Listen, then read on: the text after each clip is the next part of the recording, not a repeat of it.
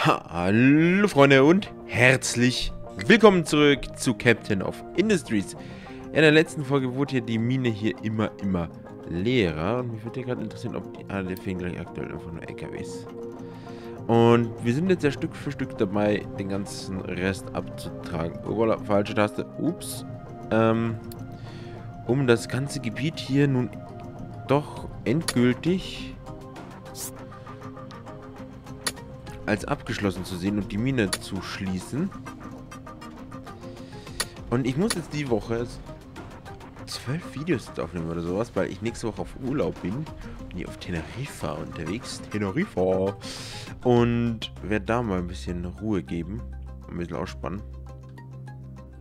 Ich freue mich schon mega drauf, weil natürlich das Vorbereiten wieder wird ein bisschen stressig. So, unsere Kohlevorkommen scheinen noch zu halten. Das ist gut zu sehen.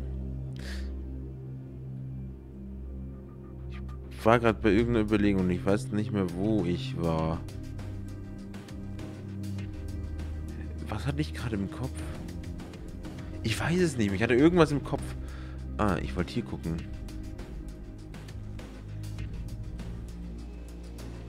Sand haben wir. Das ist da.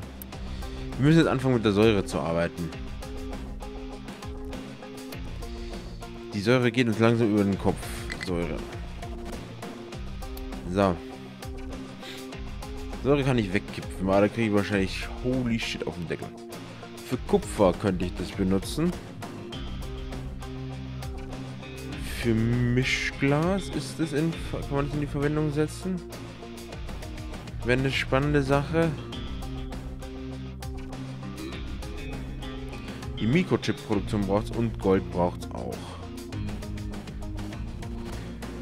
Also habe ich gar nicht so viel Use Cases in dem Fall, aber mit Mischglas, vielleicht können wir uns Freunde machen in dem Fall. Wenn ich nur überlege, wie zur Hölle ich darüber kriege. Ich könnte versuchen, hier einen Strang lang zu machen. Das müsste eh bei denen hier sein, ne? Das ist die Kupferproduktion. Also wenn, dann muss das hier anschließen. Machen wir doch mal hier eine Flüssigkeitslagerstufe 2 hin. Genau wieder auf die Linie ausgelegt, in der das läuft.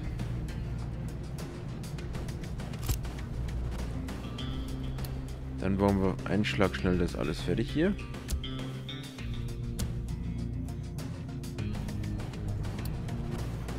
Dann nehmen wir Rohrleitung und setzen die hier drüben hin. Zack schnell liefern. Setzen dich auf... Nein, Säure. Säure und immer so gut wie voll halten. Ihr nutzt eh beides. Und dann schalten wir euch mal auf Pause.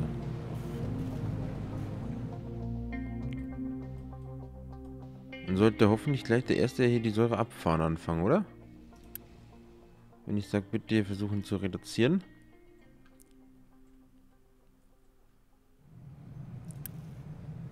Das kriegt hier eine höhere Prio.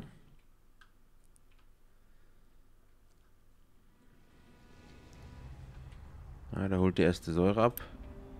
Problem ist, wir haben hier so viel Tonnen an Säure mittlerweile angelagert, dass ich nicht weiß, wie viel wir hier verbrauchen können auf einen Schlag. Was wir machen können, um mal die Produktion wieder anzutreiben, ist das Lagerhülle. Wie viel verbrauchen wir denn hier? 6, 12, 24 pro Minute. Produzieren tun wir... Ich, jetzt wollte ich schon 4 Kilometer weit laufen. Produzieren tun wir mehr. Wesentlich mehr. Okay, nicht wesentlich mehr, aber wir können wesentlich mehr produzieren. Wo bleibt die Säure?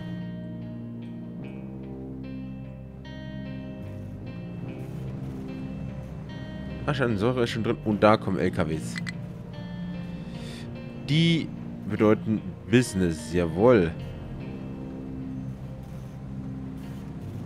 Dann sollten wir jetzt aktuell noch... Ah, jetzt laufen wir noch Waffe, Wasser, okay. Dann sollte aber als nächstes auch die Säure reinkommen, oder? Ich sehe da schon die erste Säure weiterlaufen.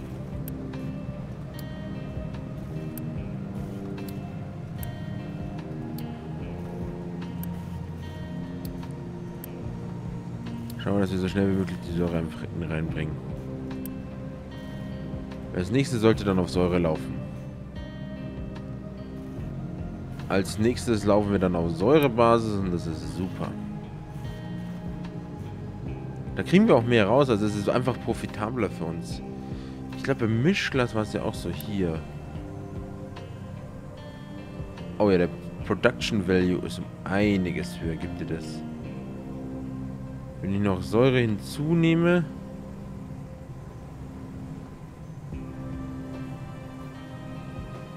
Die ich dann da einspeisen müsste... Dass ich hinkriegen könnte...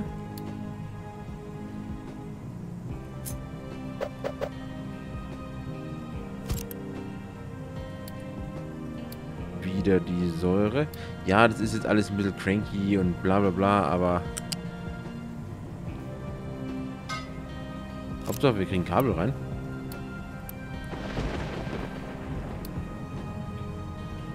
Mit Säure soll es nach oben kommen. Füllwert wieder auf, jetzt setzen wir mal die 6.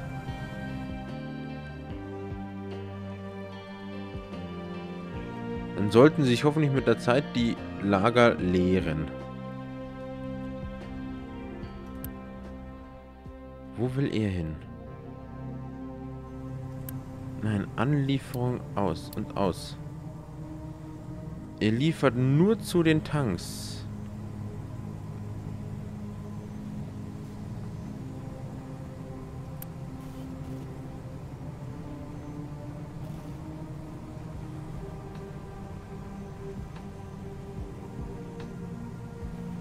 Also ich kann höchstens das verbessern, ne? Da haben wir uns letztes Mal gleich angeschaut gehabt. Jetzt weiß ich bloß gerade nicht mehr, was der Unterschied war. Beim Mischglas. Da gab es keinen großen Unterschied in dem Fall.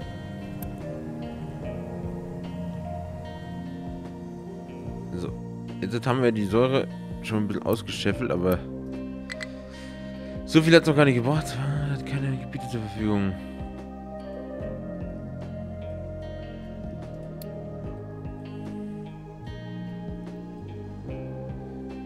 Gut. Wenn ihr das schon mal gemacht habt.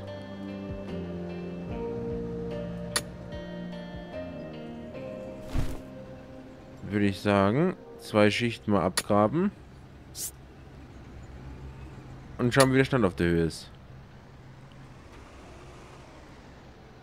Ihr habt jetzt einen, Ort, einen äh, Erdverkipport vor der Nase. Die erste Erde ist auch schon da. Wie schaut es denn hier hinten aus? Die Kollegen haben immer noch genug zu tun, glaube ich, ja. Oh, die sind hier auch oder was? Ernsthaft? Wir haben es bis nach vorne geschafft.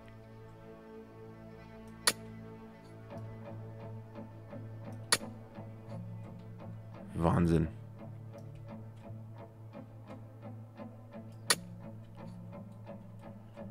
Das glaubt man ja kaum.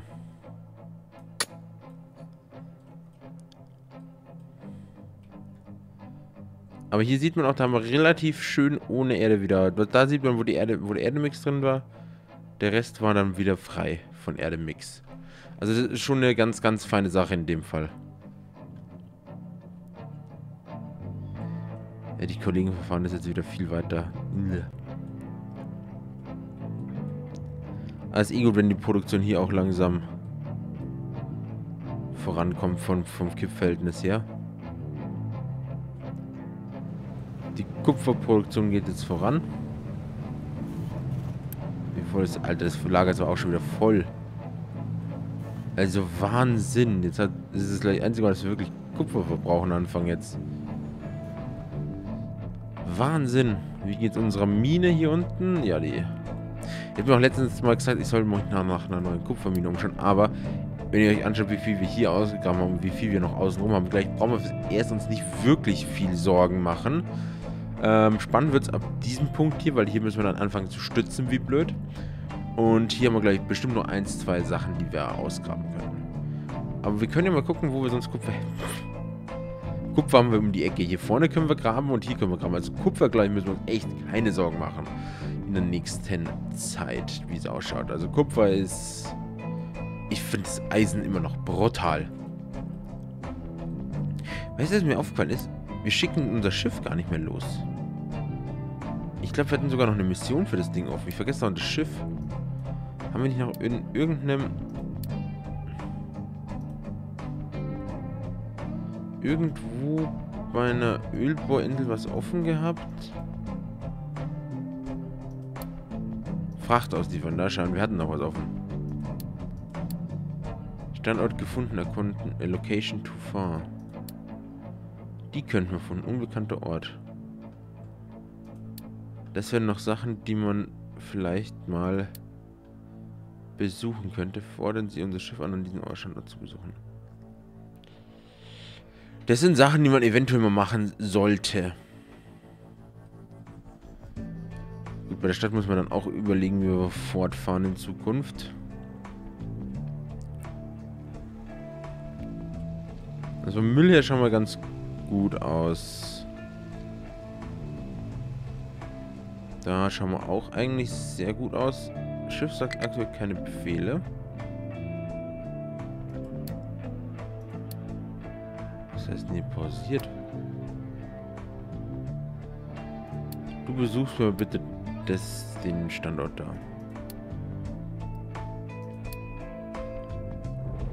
Das bringt jetzt Öl Lager voll.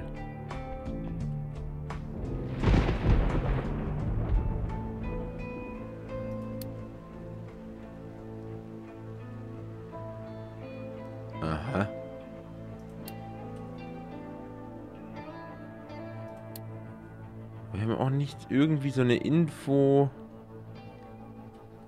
Finde ich schon wieder sehr spannend. Jetzt scheinen wir auch anscheinend mal mit Öl voll zu sein im Ganzen.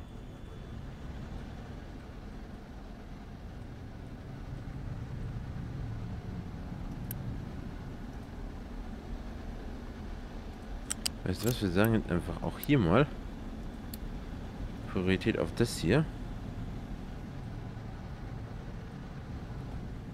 Aber wir scheinen aktuell kein Treibstoffproblem wirklich zu haben. Wir verbessern jetzt dich mal hier.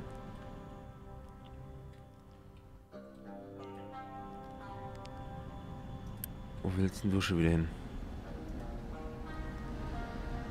Also das mit dem großen Tanker geht mir so ein bisschen auf den Senkel.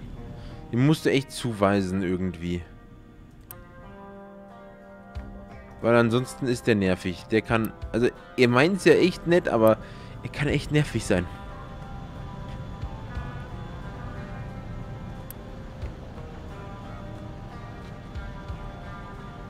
Soll ich überlegen, wie ich das hier wieder neu verkabel oder was? Nee, weißt du was?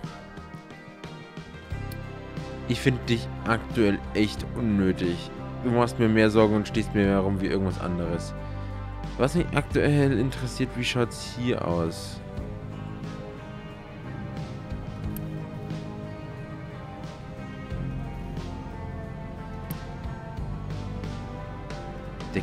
Wasser nicht los. Äh, What the fuck, jetzt war ich kurz echt verwirrt.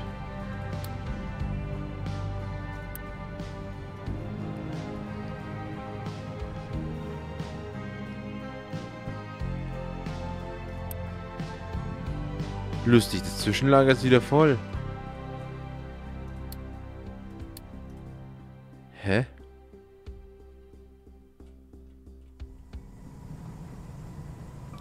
So, sollte das wieder produzieren anfangen, oder?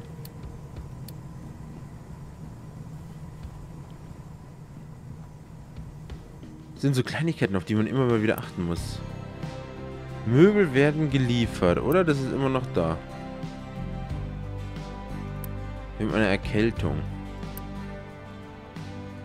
Aktuell im Land. Aber wir sind immer noch gut da dran. Das ist also noch nicht so schlimm. Und das Schiff ist zurück, bedeutet, wir geben ihm jetzt mal den Auftrag, er soll uns doch bitte mal das hier erkunden. Wir haben ja irgendwie noch nicht so viele Dörfer. Also da darf ich nur handeln. Wollte das, ich muss mit ihnen handeln, um meinen Ruf zu verbessern? Oder ist das, das sind doch Verträge, bedeutet, ich muss ihnen immer das da liefern und krieg dafür Öl, oder? Was ich so absolut nicht check.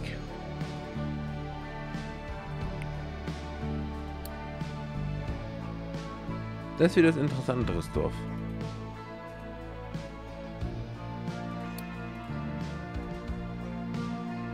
Struktur gefunden. Okay, was willst du? Ja, der Tank ist leer. Wir sind aktuell bei 50% Verbrauch.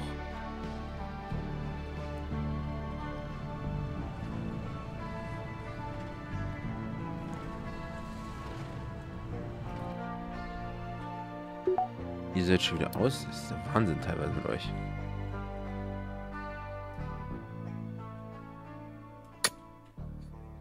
So, kriegt ihr hier wieder einen Auftrag.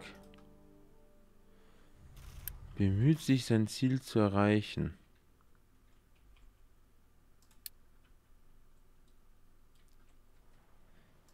Das ist, wir machen das jetzt wie folgt.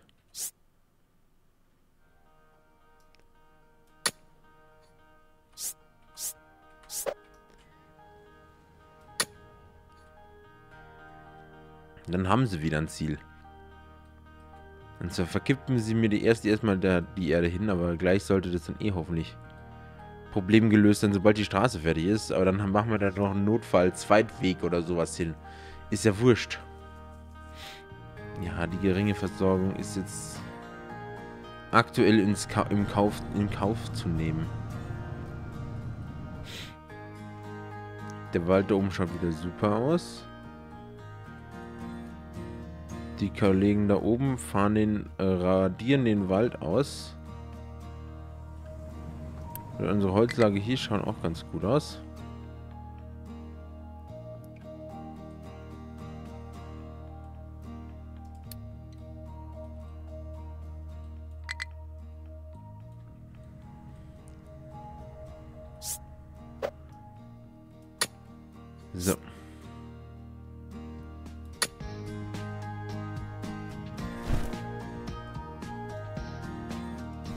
Haben wir jetzt natürlich tonnenweise an Ressourcen, die wir verarbeiten können.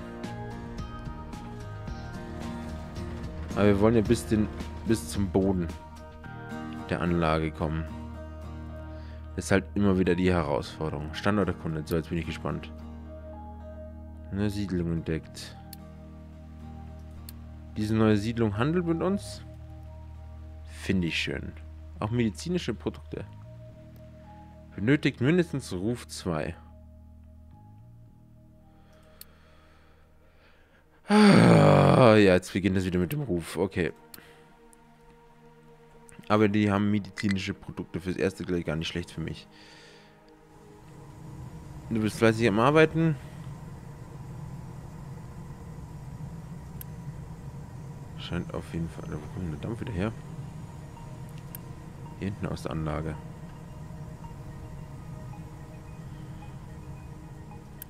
Muss dann schauen, was ich mit Schwefel noch anfangen kann. Schwefel. Ob wir da auch noch ein paar schöne, schicke Sachen machen können.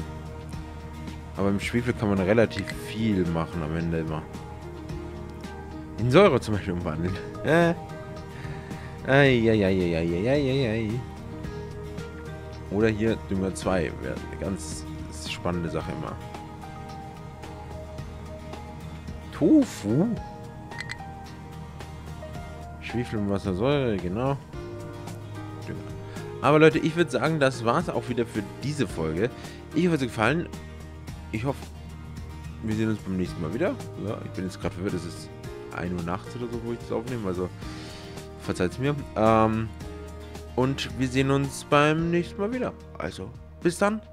Ciao.